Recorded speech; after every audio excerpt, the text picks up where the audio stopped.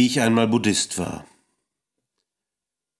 Ich traf die beiden in einer Bar in Mitte. Über einen Teller Nudeln gebeugt, hatte ich die Leute beobachtet, die in dem Laden herumhingen, wie sie versuchten, sich zu amüsieren, aber nicht wussten, wie das geht, wie man das macht und was das überhaupt ist. Arme Säue mit halbwegs Geld eben. Die Stadt ist voll davon. Also kaute ich und schaute aus dem Fenster, und da sah ich die zwei. Ich winkte, und sie kamen herein. Sie pellten sich aus ihren Mänteln. Wir begrüßten uns herzlich. Dann war es plötzlich still. Es war lange her, dass wir uns gesehen hatten. Sie musste jetzt Ende dreißig sein, und sie sah immer noch klasse aus. Ein roter Lockenkopf und kluge blaue Augen in einem Gesicht, das außer viel Verstand auch Mitgefühl verriet. Und für die schlicht gestrickten, die ohne Antennen für sowas durchs Leben hindurch müssen, war auch sonst reichlich zum Gaffen da. Ich hatte sie bestens in Erinnerung. Mitte der 80er hatte sie bei einer Party in dem besetzten Haus in Kreuzberg, in dem sie wohnte, Schweinsköpfe an die Wände genagelt, jede Menge echte Schweinsköpfe vom Fleischer, um die sogenannten Humor- und Toleranzgrenzen ihres sich selbst super in Ordnung findenden linken Milieus auszutesten. Knapp gesagt, sie wollte wissen, was die Leute, die sich ihre Freundinnen, Freunde, Liebhaber, Kommunaden und Genossen nannten, angesichts einer eher kleinen Provokation wohl tun würden. Und ob sie sauer wären. Sie waren. Und wie und hatten sich damit, so stand es zumindest für die Provokateuse felsenfest, entlarvt. Was auch stimmte, weil sie verdruckst herumlaberten, was das sollte, und dass das nicht wirklich okay wäre, anstatt so aufzudrehen, wie sie es gern getan hätten.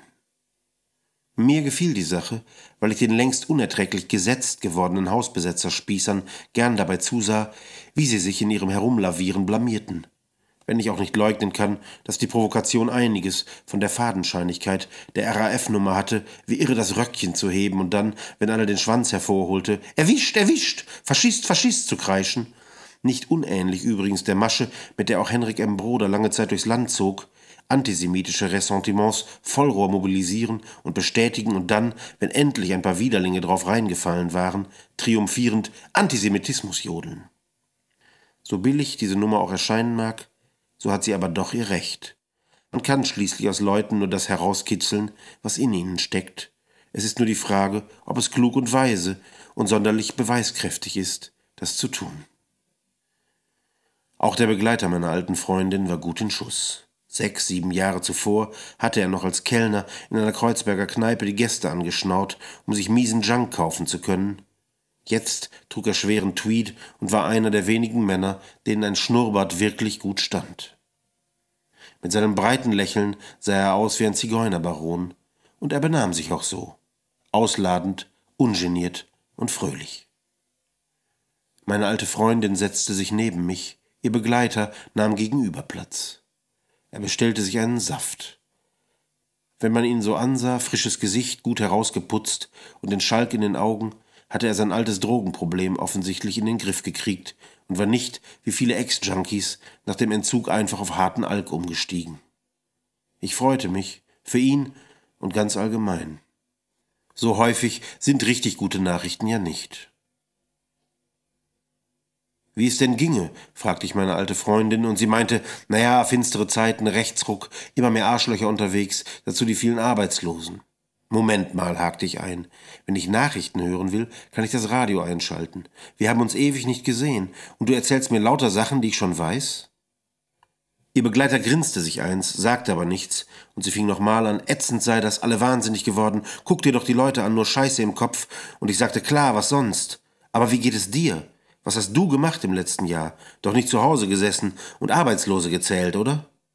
Aber sie hörte mich nicht, war schon ganz drin in ihrer Litanei, spulte das Programm ab, ich kannte es gut, aus unseren aufgeklärten Kreisen, hätte aus der Erinnerung mitsprechen können, und plötzlich, so gern ich sie hatte, und so sehr es vielleicht ja sogar auf irgendeine Weise stimmte, was sie sagte, konnte ich ihren Singsang nicht mehr hören. Diesen Brei aus Unpersönlichkeit, allgemeinem Durchgekaue, Restpolitik und Rechthaberei, und weiß der Nesquik, was mich juckte, jedenfalls hörte ich mich auf einmal sagen, als Buddhist sehe ich das schon etwas anders. Ihr Redefluss ebbte ab, verstummte dann völlig. Sie fixierte mich mit sich weitenden blauen Augen, in ihrem Kopf arbeitete es, man konnte dabei zusehen, beinahe die Scharniere quietschen, es rattern und knacken hören. Und dann hatte sie die Information, die keine war, einsortiert, wusste wieder Bescheid und sagte, Ach so, du also auch. Mit Mühe unterdrückte ich den Impuls zu lachen und nie wieder aufzuhören damit. Ich ahnte, was in ihr vorging. 15 Jahre Zugehörigkeit zur deutschen Linken hatten sie nur eins gelehrt. Mit allem zu rechnen, mit jedem Irrsinn, mit jedem Verrat, mit der absoluten Bereitschaft zur Beteiligung an jeder nur denkbaren Schweinerei. Konnte man ihr es verdenken? Ehemalige NATO-Gegner hetzten junge Leute zur Bundeswehr oder wollten sie als Blauhelme verheizen. Ex-Maoisten machten für die Rechten die Schmutzarbeit, schrieben Bücher über das, was sie sich anbiedernd die Verbrechen der Linken nannten und wollten ständig mit Nazis reden. Aber dass man mit dem kleinen Wort Buddhist die Ich behalte den Durchblick, egal was passiert Maschine anwerfen konnte, erstaunte mich doch. Ich schaffte es, ernst zu bleiben, und mit dem seriösest mir möglichen Blick sagte ich noch einmal, als Buddhist sehe ich das schon etwas anders. Zum Beispiel die Arbeitslosigkeit. Das ist doch gut.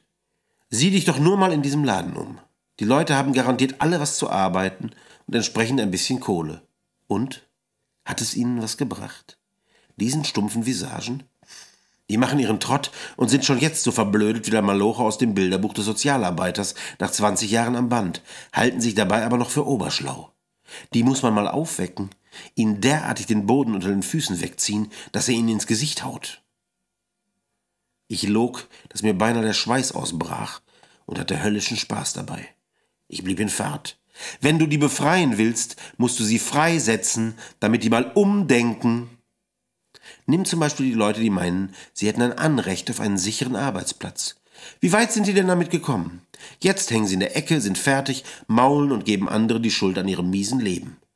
Anstatt sich zu freuen, dass endlich mal was passiert, das sie aus ihren schlechten Gewohnheiten reißt, meckert die unerleuchtete Bande noch und reißt den Hals auf. Die sind doch nicht mehr zu retten. Mit unverhohlenem Ekel und Abscheu sah mich meine alte Freundin an.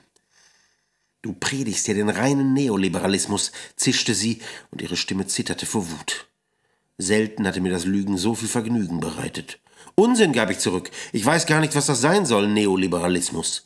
Aber was Buddhismus ist, das weiß ich. Nicht stehen bleiben, neue Wege gehen, geistig in Bewegung bleiben, Erkenntnis gewinnen, raus aus dem Mustopf. Der frühe Vogel fängt den Wurm. Ihr Blick war jetzt eher ungläubig. Ich musste zügig nachlegen. Du gehst also zu deinem Job, sagte ich, aber dein Job wurde eingespart. Oder jemand anderes hat ihn, und dir sagt man Tschüss und kommen sie nicht wieder. Darüber kann man sich aufregen und rumflennen und womöglich noch einen schmierigen Advokaten auftun und seine Lebenszeit damit verschwenden, Prozesse zu führen, und das alles wegen ein paar Kröten oder weil man zu unbeweglich ist, etwas Neues anzufangen. Wie unwürdig und verantwortlich dafür sind diese Gewerkschaftstypen. Die haben den Leuten seit hundert Jahren erzählt, es ging um ein paar Mark auf Tasche und um ein Leben wie auf Schienen. Die haben doch die Leute kopfmäßig erledigt, die jetzt arbeitslos sind und sich nicht mal vorstellen können, was sie mit ihrer Zeit überhaupt anfangen könnten. Langsam schaffte ich mich richtig rein in die Sache, und je angewiderter mich meine alte Freundin ansah, desto mehr Freude hatte ich. Beinahe glaubte ich schon selber an das Zeug, das ich da erzählte. Du kannst aber auch, fuhr ich fort, den Spieß umdrehen. Nicht lamentieren und mit dem Finger auf die anderen zeigen, sondern kapieren, dass du selbst einen Fehler gemacht hast und deine Lektion lernen. Wenn also dein Job weg ist, nicht stumpf Unrecht krakeelen oder Kapitalismus, sondern dich verbeugen und sagen, danke für die Befreiung vom Ballast, danke für die Möglichkeit, mich weiterzuentwickeln. Aber wer macht das schon? Von der Gewerkschaft Gehirn gewaschen, sind die Leute völlig fixiert auf ihr schäbiges Leben und auf den Schmutz, in dem sie sich eingerichtet haben. Wenn denen überhaupt noch einer helfen kann, dann ein Jobkiller. Und den Job würde ich gern machen. Leute in die Freiheit entlassen. Ihnen sagen, geh mal spazieren, nimm das Brett vom Kopf, sieh aus dem Fenster und lern was. Entweder gehen die zugrunde oder sie kommen richtig aus dem Quark entdecken verschüttete Instinkte, entwickeln neue Energien, die Schiene. Ich lächelte selig. Meine alte Freundin stand auf und zahlte. Höflich, aber kalt verabschiedete sie sich, während ihr Begleiter mir neutral zunickte.